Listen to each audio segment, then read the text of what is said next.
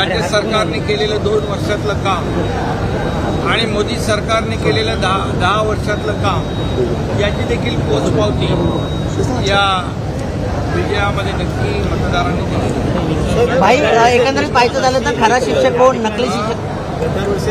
खरा शिक्षक कोण? नकली शिक्षक कोण? असं म्हणलं जात होतं. मतदारांनी आज दाखवलं का? खरा शिक्षक ठाणेकरांनी त्यांची जागा त्यांनी दाखवली.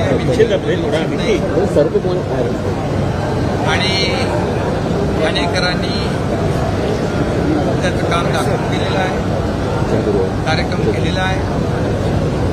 त्यामुळे नरेंद्र मस्के विजयी झाले. त्यांचं मी मनापासून अभिनंदन करतो. त्याचबरोबर या देशाचे प्रधानमंत्री नरेंद्र मोदीजी यांचे अभिनंदन करतो.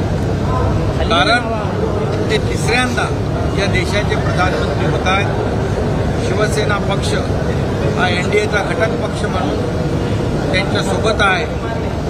आणि लवकरच एन डी एचं मोदीजींच्या नेतृत्वाखाली सरकार बनेल.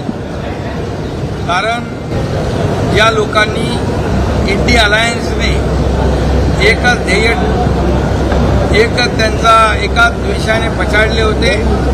मोदी हटाव मोदी द्वेषाने पछाडलेले लोक मोदीजींना तडीपार करण्याची भाषा करत होते. परंतु या देशातल्या जनतेने विकासाला मतदान केलंय आणि जे तडीपारीची भाषा करत होते त्यांना सत्तेपासून दूर ठेवून तडीपार केलेला आहे.